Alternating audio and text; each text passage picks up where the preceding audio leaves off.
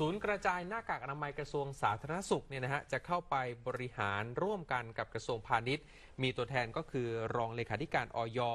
องค์การเภสัชกรรม และผู้แทนจากโรงพยาบาลต่างๆ โดยศูนย์นี้จะมีหน้าที่บริหารจัดการหน้ากากทั้ง1ล้าน2แสนชิ้นที่ผลิตต่อวันนะครับให้กระจายไปยังทุกภาคส่วน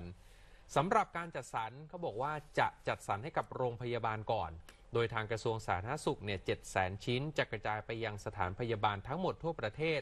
ส่วนที่เหลือประมาณ 5 0 0แสนชิ้นนะครับจะกระจายไปยังกลุ่มเสี่ยงอื่น ๆ รวมทั้งประชาชนทั้งประเทศ 60 ล้านคน ผ่านร้านขายยาสายการบิน ร้านค้าปลีกค้าส่งต่างๆ รวมทั้งร้านธงฟ้า โดยศูนย์กระจายหน้ากากอนามัยนะครับจะมีการบริหารจัดการหน้ากากร่วมกันทุกวัน เพื่อจะตรวจสอบการกระจายให้เป็นไปอย่างมีประสิทธิภาพ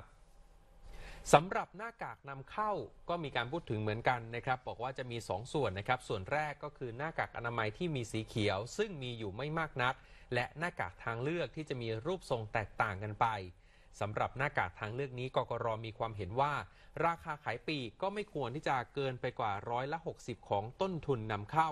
ซึ่งร้อยละ60ที่ว่านี่หลายคนมองว่ามากไปหรือเปล่านะฮะจริงๆร้อยละ60เนี่ยจะรวมค่าใช้จ่ายอื่น ๆ ที่ทางเอกชนต้องแบกรับนะครับไม่ว่าจะเป็นต้นทุนบริหารค่าโลจิสติก ค่าตอบแทนต่างๆ โดยผู้นำเข้าจะต้องแสดงต้นทุนนำเข้า เพื่อใช้เป็นเกณฑ์ในการพิจารณาของเจ้าหน้าที่ด้วย ส่วนหน้ากากที่ผลิตโดยโรงงานในประเทศไทยทั้ง 11 โรงงานยังคงมีเหลือนะครับ แล้วก็ขายในราคาที่แตกต่างกันออกไป จะให้เวลาผู้ประกอบการ 3 วันเคลียร์สต็อก และตั้งแต่วันจันทร์เป็นต้นไป จะต้องจำหน่ายในราคา 2 บาท 50 สตางค์ต่อชิ้นทุกโรงงานนะครับ ข้อกำหนดข้างต้นจะใช้กับหน้ากากอนามัยไม่รวมหน้ากากผ้าที่ครมมีมติจะสรรงบให้ 225 ล้านบาท เพื่อการผลิต โดยองค์กรปกครองส่วนท้องถิ่น หรือหน้ากากผ้าอื่นๆนะครับที่จะถูกผลิตขึ้นมาในอนาคต ที่กระทรวงสาธารณสุขรับรองแล้วว่ากันเชื้อโรคได้